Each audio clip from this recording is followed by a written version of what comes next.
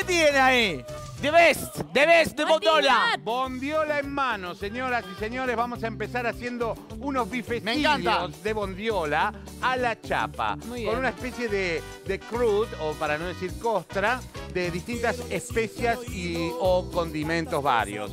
Muy bien. Este aquí la bondiola y vamos a empezar a cortarla para generar estos este, bifecillos. Fíjese que... Hola, Gla, ¿cómo está? ¿Cómo anda? ¿Bien?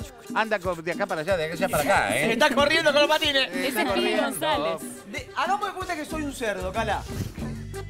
No, Ah, ¿de dónde no te un pareces. ¿De dónde saca ¿De la dónde? Claro, me pongo- Sí, fíjese. Acá hay un macizo muscular inmediatamente a popa de la ¿Qué es macizo, musculatura muscular? del cuello, para no decir cogote. Sí. ¿eh? Ahí eso es la bondiola, que viene a ser la aguja o roast beef en el ganado vacuno. Exactamente. Y en el ganado porcino la llamamos bondiola con B de bueno. Con ¿eh? B, con B. B de bueno. Bueno, la idea es cortar unos eh, Bifachos. suculentos bifachos eh, y estos bifachos eh, envolverlos con una lonja delgadita de panceta ahumada, cosa que saborice durante la cocción. Ahí Gladys ya los empezó a poner a la chapa, Sí. porque elegimos cocinarlo a la chapa. Fíjese, ahí tenía el plato terminado y ahí tiene los, los medallones a la chapa. Podemos agradecer a la gente de televisión.com.ar que, Claro nos, que que nos sí. eh, subió en la semana, porque hemos tenido la semana pasada un buen número, dicen un buen número de rating, así que muchas gracias. Muchas Eh, gracias. Hemos tenido una buena semana. Y a la gente que lo vio, que Y a- hizo y a la gente que lo vio.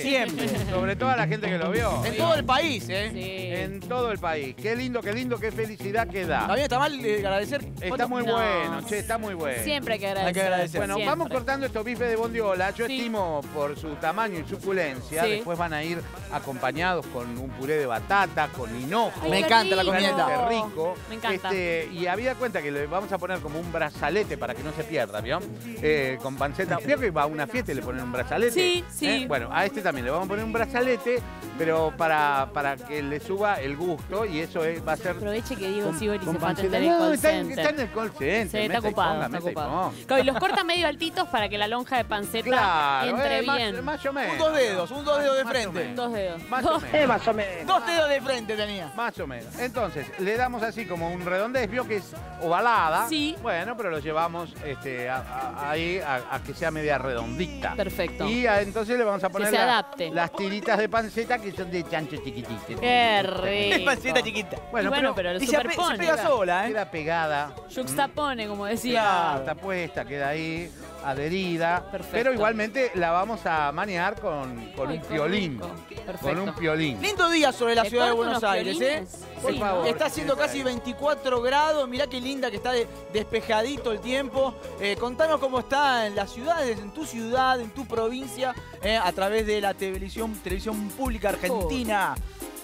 Bonito, bonito. ¿Lo está haciendo muy, lo está haciendo muy justito? No sé, creo que no. ¿Usted quiere ponerle doble?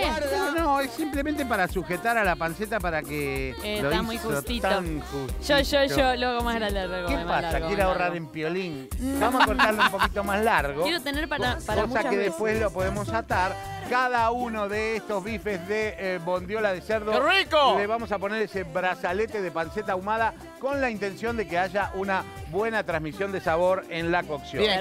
Y luego lo vamos a acompañar, le vamos a poner una, una crut, una costra, Sí. eh, con hierbas y con especias y condimentos. Va a quedar realmente rico, rico. Excelente. Eh, después, ¿usted qué va a hacer en el día de hoy? Vamos a despedir porque hoy es el último El día, día. del verano Claro. y vamos a despedir. Adiós a la fruta, Hoy una de las frutas más verano. ricas del verano que es el durazno. El durazno. Vamos a hacer la última tarta de duraznos de la temporada y vos también podés hacerla con los últimos duraznos. Me encantó. ¿Y usted, mi niño? Para la hora del mate, dos budines bien clásicos, uno con corazón de dulce de leche y otro con frutos rojos, muy fáciles de hacer, Cala. Ajá. Para el Y matienzo. sabe una cosa, tenemos un invitado especial Sí. que Sí. viene de Puerto ¡Guapreti! Madryn. Es Genio. quizás el embajador Sí. de la República del Chubut, Sí. de la ciudad o del Principado de Puerto Madryn. Tal cual. Se trata de nuestro amigo Gustavo Rapretti. Es el referente de la cocina del sur de la Argentina. Va a ser un plato regional. Está a la altura, está a la altura, ¿eh? Unos langostinos a la chapa con un buenos. revuelto de